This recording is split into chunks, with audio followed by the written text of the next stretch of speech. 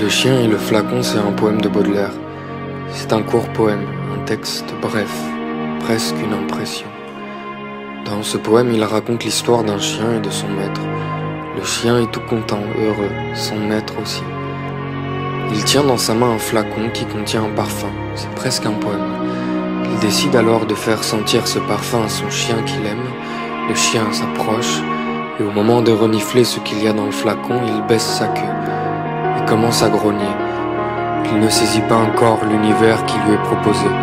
Et voyant cette situation, Baudelaire finit par dire que ce chien est probablement comme le public, c'est-à-dire que pour qu'il continue à remuer la queue, pour qu'il continue à être heureux, ce chien, il a fallu lui fournir un produit qui ne demande pas de faire d'efforts, parce que sinon, c'est intellectuellement trop coûteux pour lui. Il refuse de faire cet effort. Il préfère rester léger, car la légèreté est confortable que n'importe quel acharnement. Alors, il reste heureux le chien, certes, mais ce bonheur, je pense qu'il est très faible.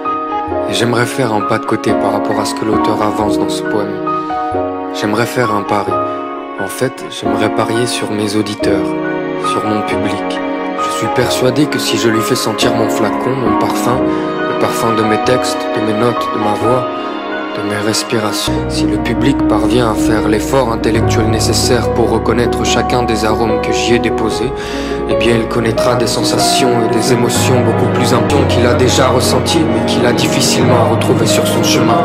Des ressentis rares qui ne peuvent s'obtenir que par le prix d'un effort. Bonheur, joie, larmes, souvenirs, inventions, limites, vide, infini, au revoir, sans dire adieu.